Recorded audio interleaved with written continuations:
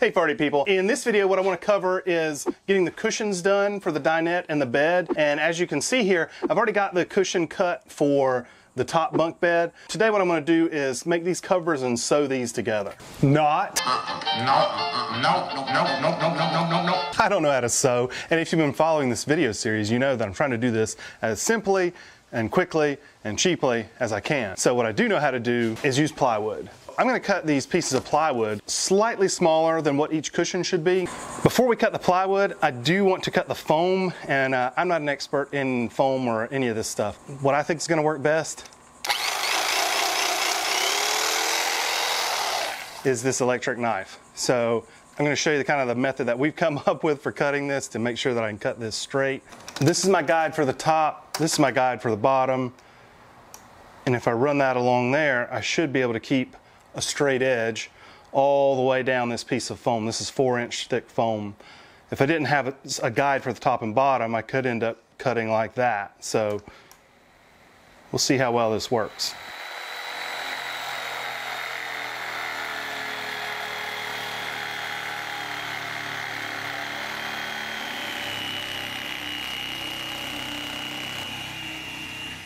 All right, so that worked pretty well.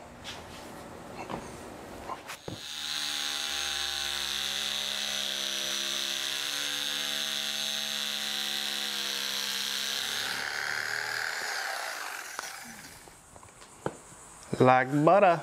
Man, look how perfect that is right there.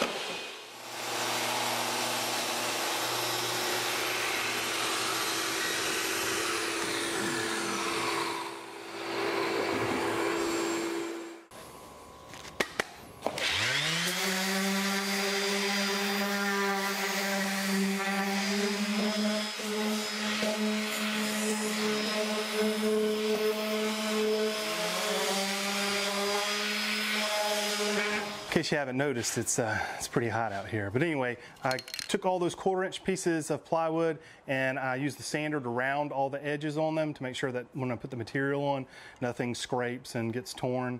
Next, I'm gonna use this Loctite spray adhesive, which is essentially uh, contact cement. And I'm gonna spray this on the foam and on the plywood and get that attached.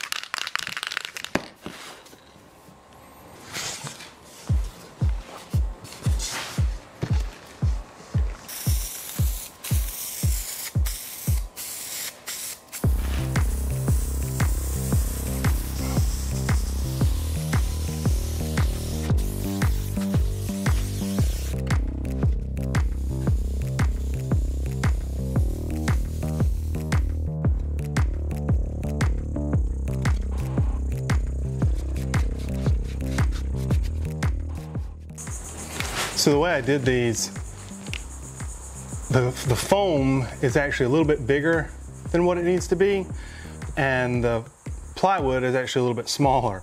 So the actual size that the cushion needs to be is, you know, halfway in between there.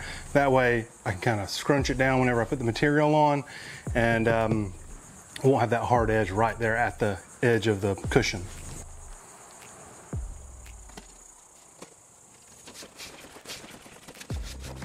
So when I went to the fabric store to get the material to cover these cushions, the lady that worked there said, Sir, can you tell me what you're looking for? And I said, Well, I'm covering the cushions in what will become an RV, kind of a travel trailer. And she said, Oh, I know exactly what you're looking for. You're looking for something butt ugly in a puke pattern, maybe in a brownish tint. And I was like, Yes! Just like they've used in every RV since 1972. And she was like, fresh out. So anyway, what I got was this. And I mean, I think this is just lovely and will go with any season. But also, the good part is because it's light gray, I'll see any uh, woolly boogers that are crawling on this thing when I'm trying to sleep, so that's a plus. I'm gonna treat this as a bar stool. I'm gonna cover, go over the front cushion, wrap it around the back, and then I'm gonna use quarter inch, hopefully these work, quarter inch staples to push it in. And speaking of bar stools, I'll put a link up here, yep, over my left shoulder for an epoxy bar stool that I did, and you should click on that and watch that. It's pretty cool. Oh, and it's got a spider in it, a poisonous spider, so you don't want to miss that. Anyway, let's get this on.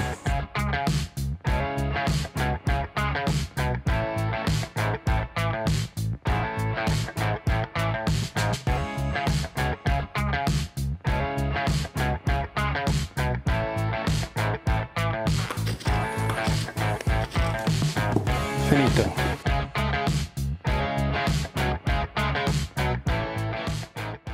Fold this over there, okay? Fold that over. I'll hold this and you staple it, okay? So watch how I do this, okay? I'm gonna pull it tight and then put two in like that, okay? Mm-hmm. So all you do is push your hand down, that's where the weight, you don't have to really squeeze that hard. You need to push your weight of your hand down, okay?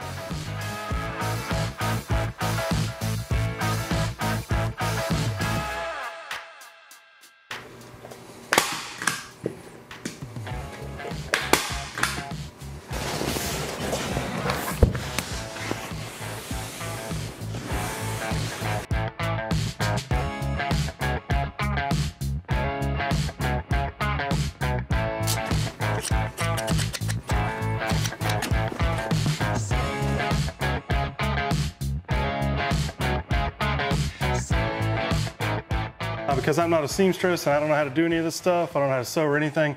I just did it like I was wrapping a package, sort of, and then stapled it on the back. But I think this will work.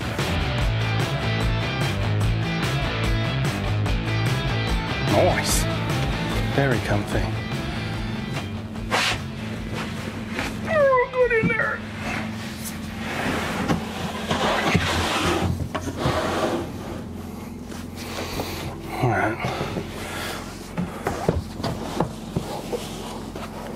Squish them in there. I made them tight, so ta-da. Okay, hop in there, see how comfortable it is. Comfy? Yep. Too bad, you're never gonna sleep on that one. Test the top one. That one's for you. Okay. Comfy? Yep. Yarp? Yarp? Yeah. So what I need you to do then is to take two sheets and sew those two sheets together and make a giant pillowcase basically for this piece right here. Can you do that for me? Yard. Yar. That it's a super easy, fast way to cover some cushions for, you know, if you're doing a conversion. If you like this video, give me a thumbs up, subscribe, share, and I'll see you in the next video. Bye-bye. Wow, that's weird.